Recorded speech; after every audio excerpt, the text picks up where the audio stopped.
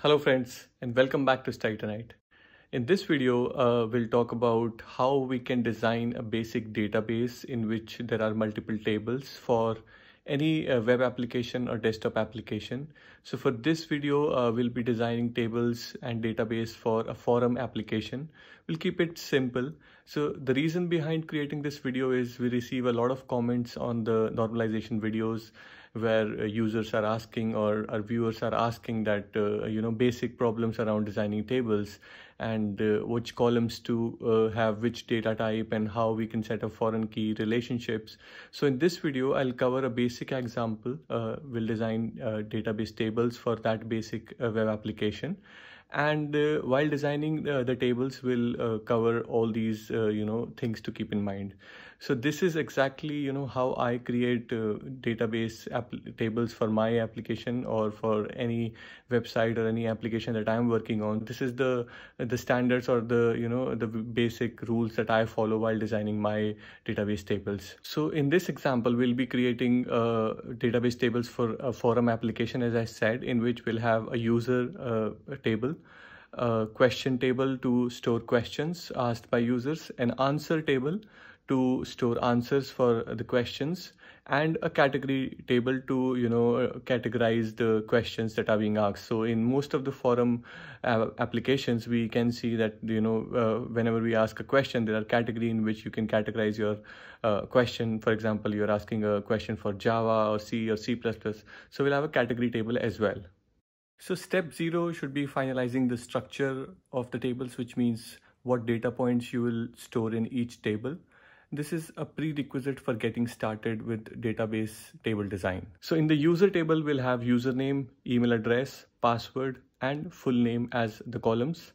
In question a table, we'll have a question name or title, a question description, uh, the category in which the question is being asked, who asked the question, which will hold the user information, and then, you know, when the question was asked. Uh, then coming to the answers table, in the answer table, we'll have the answer text, obviously. Uh, the question information uh, in which you know we'll have the information of the question for which the answer has been uh, provided. Then the user information uh, containing you know information about the user who answered the question. And then when was the answer submitted. And then in the category table we'll just have uh, you know the name of the category. So we'll have multiple categories stored in it so this is the basic uh, data model that we have for the forum application.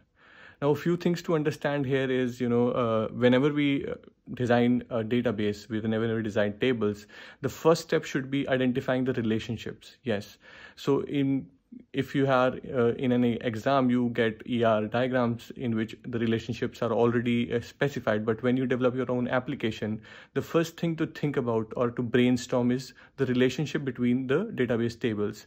So for this uh, setup uh, the user table is an independent table. It doesn't depend on anyone. The question table on the other hand depends on the user table and the category table because it will have information of the user and the category information stored in it then comes the answer table. The answer table will have dependency on the question table and the user table. And at last, the category table, which is again an independent table, just like the user table. So we should start by, you know, designing the independent tables first and then move on to uh, the dependent tables because it will have, uh, it is dependent on, uh, you know, some other tables.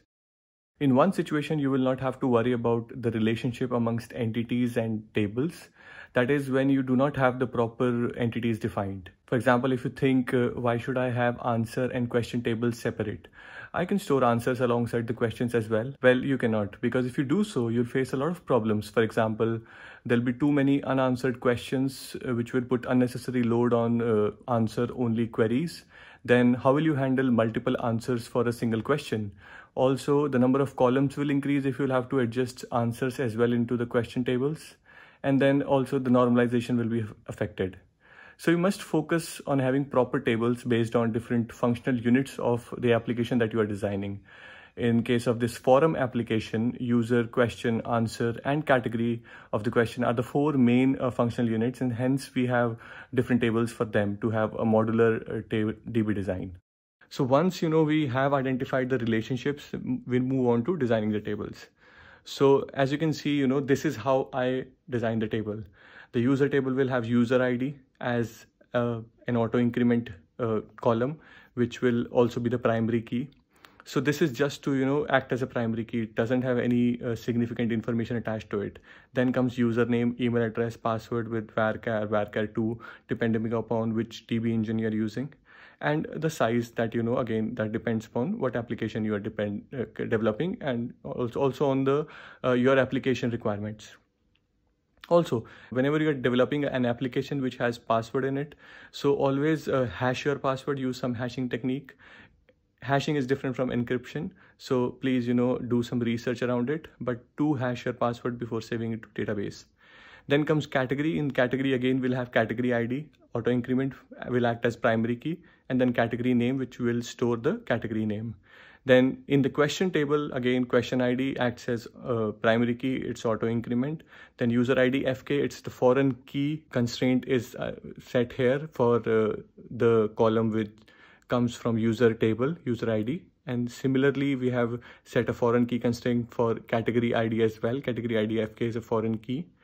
Then comes question, question description, which is text data type, and then created, which is used to store uh, timestamp or you know the date so generally i prefer storing unix timestamp because it is platform independent or you can also use the date data type to store uh, the you know time of creation for any question answer like that again in the answer table we'll have answer id which is again primary key and auto increment will increment itself then question ID FK, which is a foreign key from question uh, table, user ID FK, which is again a foreign key from user table, then the answer text, which is of text data type, and then created again a timestamp or you can have date data type.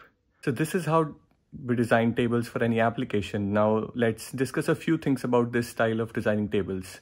So uh, the three points here are uh, why we need auto increment ID columns in each table, then is this design completely normalized and uh, the foreign key setup. So uh, covering the first point, uh, you know, you must be thinking, why can't I have some other meaningful column as the primary key?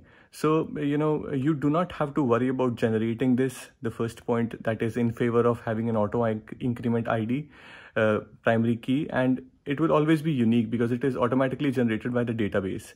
Then it makes indexing fast as compared to complex string-based uh, uh, primary keys. Also, uh, having a string-based primary key will slow down your join queries. But again, you know, it's your choice if you think that, uh, you know, some column which must be uh, primary key is something you know which is meaningful in your application design then you can go ahead and have uh, that particular column as the primary key. Then comes the second point is this completely normalized? Then you know it is to an extent not completely as we can break down the relationships further into uh, separate tables but that will make the you know uh, database design more complex then the foreign key setup. So, you know, this is very important for maintaining data integrity because uh, what if someone, you know, interrupts your uh, request uh, while it is being uh, saved into the database and changes the user ID to something that doesn't exist uh, if you do not have foreign key uh, constraint set up, then that data will be saved into the questions table or the answers table, even if user ID doesn't exist. So this is a fail-safe mechanism. You can also have this on the server side where you can, you know, validate the user IDs for uh, whether it's present or not, but you should also have a foreign key constraint set up on the database side as well. So with this, you know, we have covered almost all the points which you should focus on while designing a database and it's stable for any application that you are working on. Uh, I'll try to make more videos covering more complex DB designs along with best practices. Until then, you know, subscribe to the Studytonight channel, share this video with your friends, hit the thumbs up. And if you have any doubts, you know, feel free to comment down below and I'll try to answer all those comments. Also, I have posted a machine learning basic introduction video. Do check it out as well. Thank you.